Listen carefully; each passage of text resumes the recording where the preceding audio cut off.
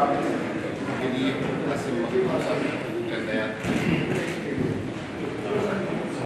Sayın Valimiz, Sayın Mali Vezir, çok kıymetli hocalarım, ulema, hepinizi en kalbi muhabbetlerimle selamlıyorum. Esselamu Aleyküm ve Rahmetullahi ve Berekatüh. Ee, bir ülkenin, insanının en sevdiği ülkenin insanlarıyla bir arada olması kadar e, bahtiyarlık veren e, çok az şey vardır.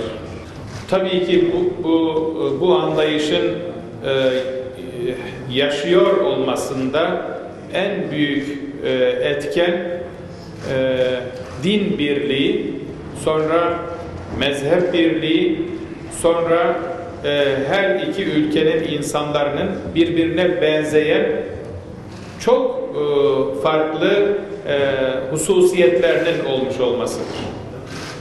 Cumhur, e, Cumhurbaşkanımız Recep Tayyip Erdoğan ve Pakistan Başbakanı Sayın İmran Han'ın özelliklerinin birbirine benziyor olması da esasında bu yakınlığımızı daha da artırmaktadır.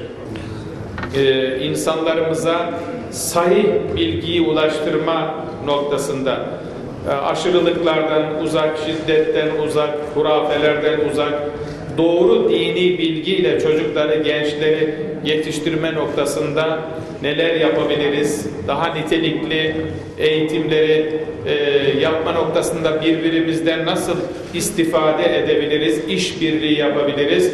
Bunları e, inşallah e, görüşeceğiz. Ben tekrar Sayın Valimize bizi burada davet ettiği, ağırladığı için çok teşekkür ediyorum. Thank you.